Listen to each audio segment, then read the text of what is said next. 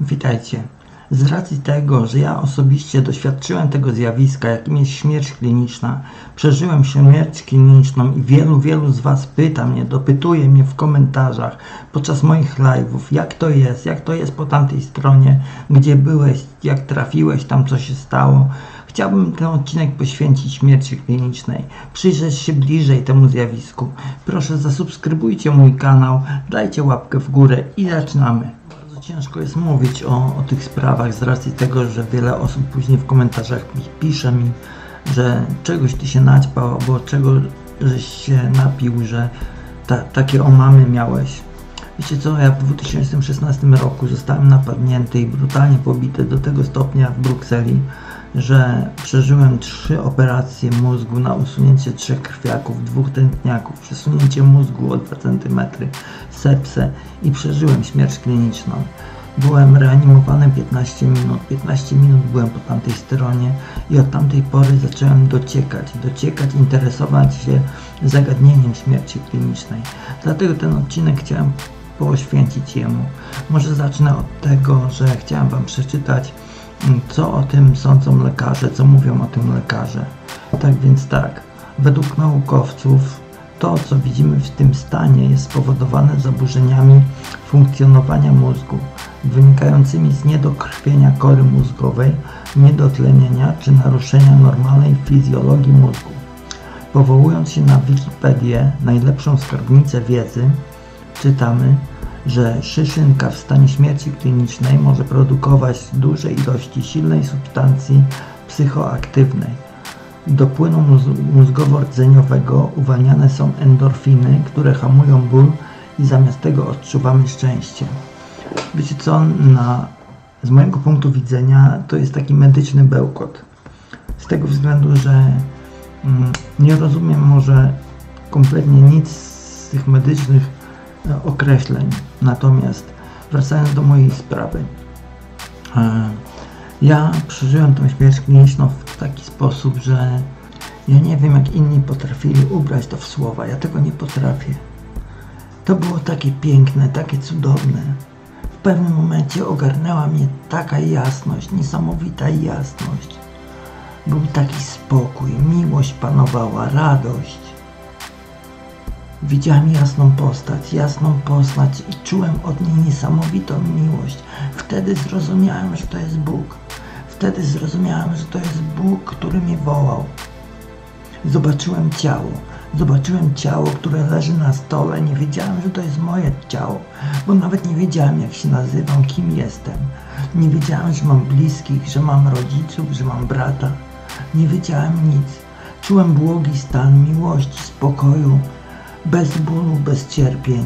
Widziałem lekarzy krzątających się po sali operacyjnej i tą białą postać. Wtedy zrozumiałem, że to jest Bóg i On mnie kocha i mnie wołał. Ale w pewnym momencie, w pewnym momencie zaczął mnie wpychać w to ciało. Zacząłem się bronić, wyrywać, bo tam było, tam było mi tak dobrze. Czułem się jak we własnym domu a on mnie na siłę wpychał w to ciało. Wtedy wróciłem. Wtedy wróciłem i zrozumiałem, że to jest Bóg. Z biegiem czasu, po roku czasu w śpiączce, gdy otworzyłem po raz pierwszy oko, żałowałem. Żałowałem, że mnie odratowali. Nie mogłem ruszyć ani ręką, ani nogą. Ruszałem jedynie okiem, patrzyłem się tempo w sufit i żałowałem, że mnie przywrócili do życia. Żałowałem, że mnie wyrwali z tego cudownego świata, w którym byłem. Nie wiedziałem, jak się nazywam, straciłem pamięć. Przeżyłem tyle tych operacji mózgu. Nie mogłem ruszyć ani ręką, ani nogą, a po tamtej stronie było tak cudownie. Zero problemu, zero, zero bólu, zero cierpień, rachunków, niczego. Nie wiedziałeś, jak się nazywasz. Fruwałeś nad własnym ciałem, mimo tego, że nie wiedziałeś, że to twoje ciało. Wokół czułeś jasność. Nie widziałem bliskich, bo nie wiedziałem, kto jest moim bliskim. I teraz tak, wracając do tematu. Przepraszam, trochę mi trochę odpłynąłem, bo wracając do tych wspomnień, przeżywam je cały czas. Później zrozumiałem, że Bóg miał swój plan, żeby mnie przywrócić do życia. miał swój plan, że był wsparciem dla mamy i dla synka. Mam niedowład lewostronny, straciłem pamięć.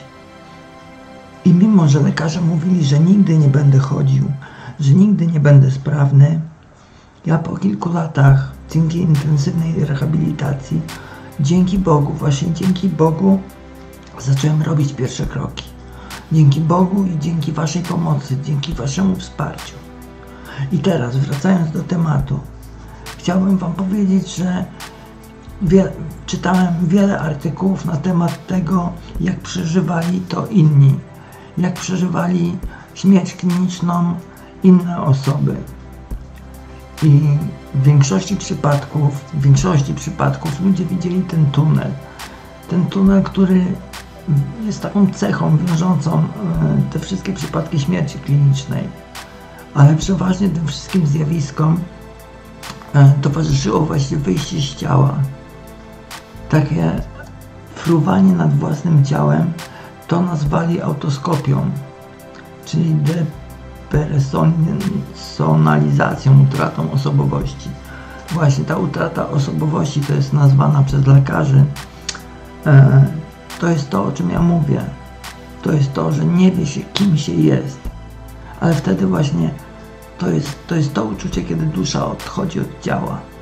Jest coś niesamowitego, coś pięknego, coś wspaniałego i nie chcę tutaj namawiać do nikogo, żeby sobie coś zrobił. Ale nie boję się śmierci. I tu wie, w wielu przypadkach, w wielu przypadkach, jak się czyta na internecie, ludzie piszą, piszą o tym, że już się nie boją śmierci, że nie boją się śmierci, tego co ich czeka, bo, bo już tam byli. Wiele osób e, opisuje to jako spotkanie z bliskimi, jako to, że prowadzili bliscy, prowadzili ich za rękę. Ja tego nie doświadczyłem. Być może też tak jest. Ja wiem, że nie boję się śmierci, bo po tamtej stronie jest pięknie, jest cudownie. Wspólnym takim doświadczeniem dla osób y, różnych kultur i religii, które już znalazły się po tamtej stronie, na tym progu śmierci, było spotkanie takiej świetlistej, boskiej osoby Jezusa Chrystusa. W każdym jednym przypadku było to spotkanie tego Jezusa, który jest taką nieskończoną miłością, akceptacją, Mm, to było coś niesamowitego i to dotyczy każdej osoby, która przeżyła tą śmierć kliniczną. I tu jeszcze Wam powiem taką ciekawostkę fajną znalazłem. W szpitalu w Seattle e, dr Moros zbadał relacje 121 dzieci, które przeżyły śmierć kliniczną. Analizy te wykazały, że przeżycia pacjentów w wielu istotnych punktach były identyczne i tak na przykład wszystkie dzieci doświadczyły przebywania poza ciałem, a ich świadomość była niezależna od ciała znajdującego się w stanie śmierci klinicznej, tak jak w moim przypadku. Co więcej, pacjenci mieli wyostrzoną świadomość i odczuwali głęboki pokój, tak jak w moim przypadku. Widzieli również jasną postać, czuli miłość, tak jak w moim przypadku. Czekało na nich olśniewające światło, tak jak w moim przypadku. Tych podobnych przypadków jest naprawdę wiele. Jest naprawdę wiele i na internecie, na Google'ach, na Wikipedii. Możecie o tym poczytać. Ale wszyscy, którzy przeżyli śmierć kliniczną, zgodnie potwierdzają, że w życiu człowieka najważniejsza jest miłość. Jeżeli będziemy dojrzali w miłość, to po śmierci czeka nas niewyobrażalnie piękny świat i miłość której nie można wyrazić słowami, której się nie da opisać. Zachęcam Was do subskrypcji mojego kanału, dajcie łapkę, obserwujcie moje kolejne odcinki. Będę opowiadał o tym, czego doświadczyłem, czego doświadczyłem w, lek- w szpitalach, co przyszedłem. Zachęcam i pozdrawiam. Twierdzenie, że Bóg nie istnieje, podobnie jak życie po śmierci, jest oszukiwaniem samego siebie. Jest Bóg, niebo, szatan i piekło. Osoby, które przeżyły śmierć kliniczną, tak jak i ja, doświadczy, doświadczyły obecności Boga i życia po śmierci.